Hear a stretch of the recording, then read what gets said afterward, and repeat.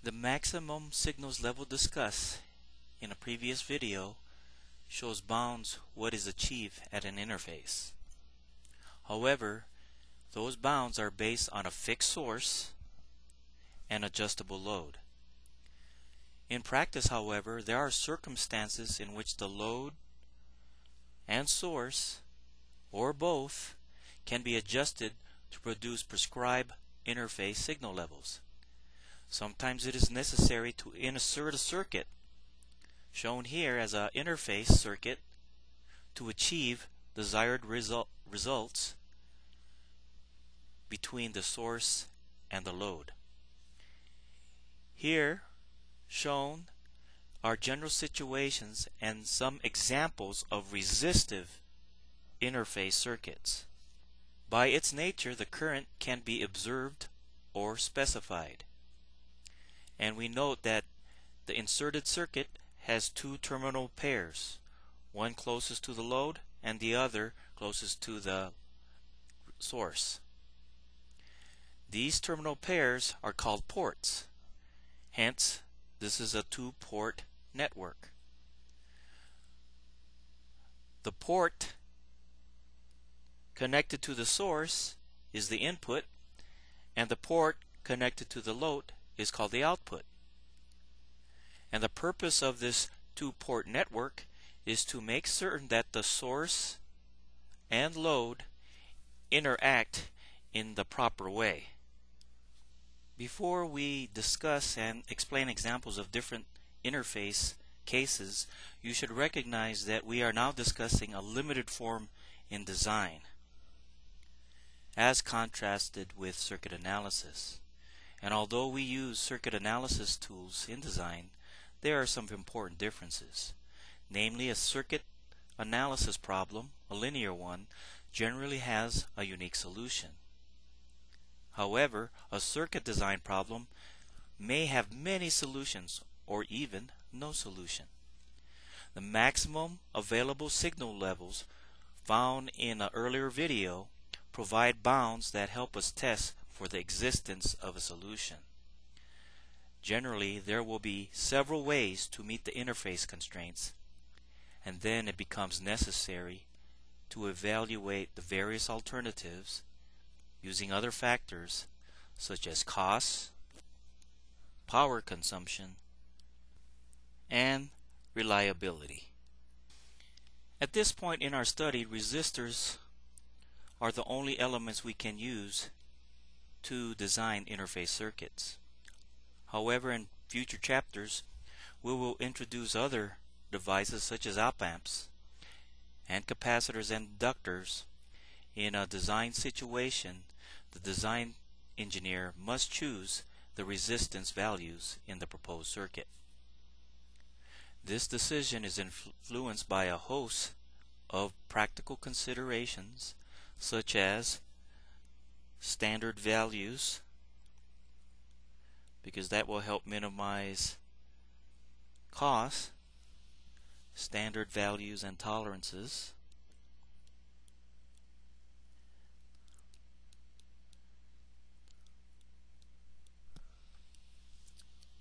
power ratings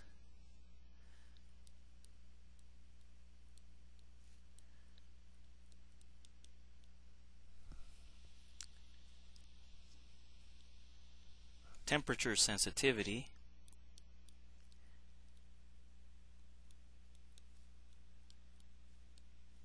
which deals with reliability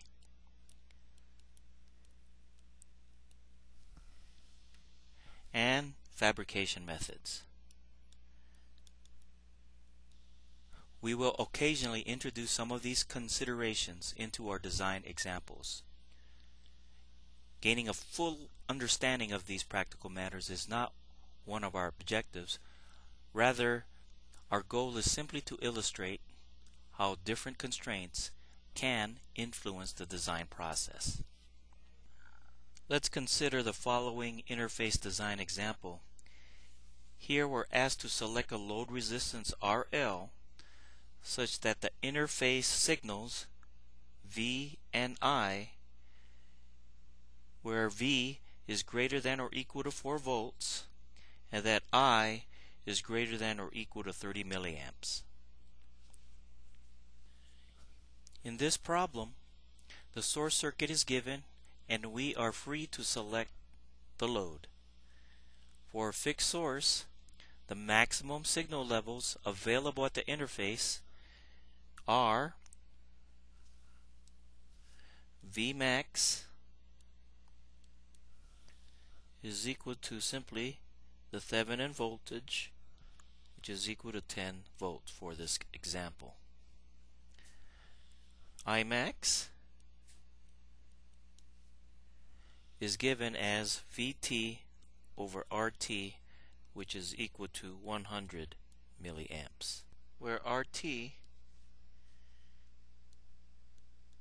is equal to 100 ohms. So let's look at the first constraint where we have V greater than or equal to 4 volts.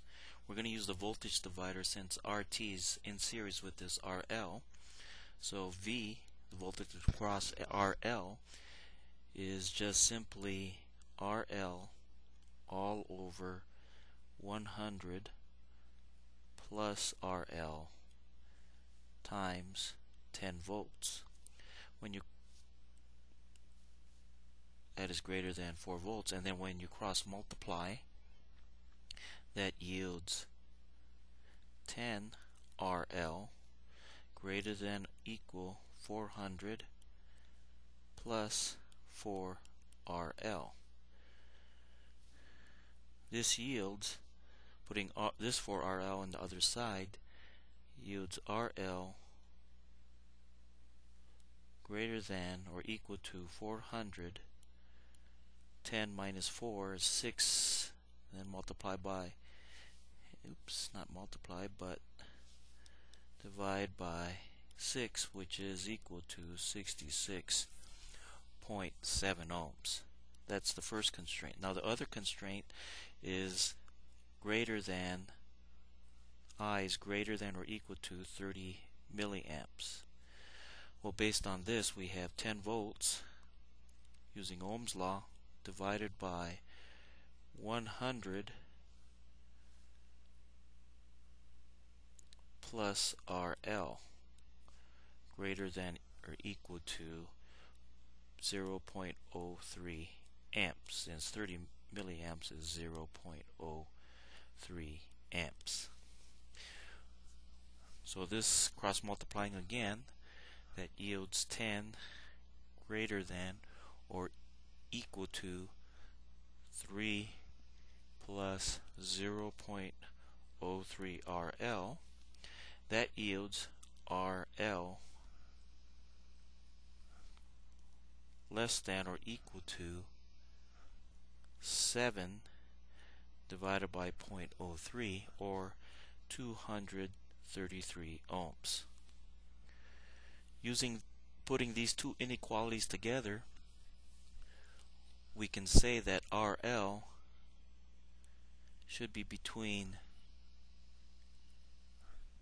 233 ohms and greater than or equal to 66.7. However, to allow for parameter variations, we select RL to be 150 ohms, which happens to be the arithmetic midpoint of the allowable range and is also a standard value of resistance. So the answer or one of the answers to this design is simply that RL is 150 ohm which satisfies this set of inequalities.